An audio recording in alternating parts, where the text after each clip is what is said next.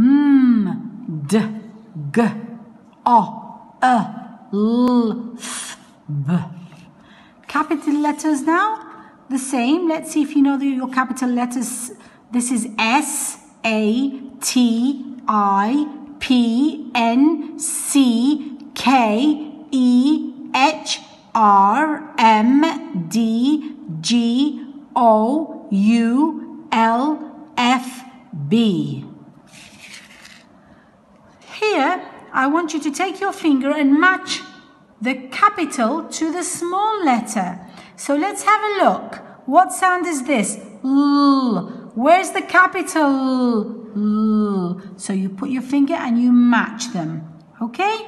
Look here for capital and small letters. You see they put the small letters inside and the capital letters are outside the big part. Turn the page over now.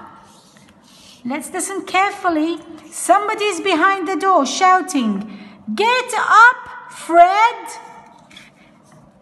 Fred, get up! It's golf at 10!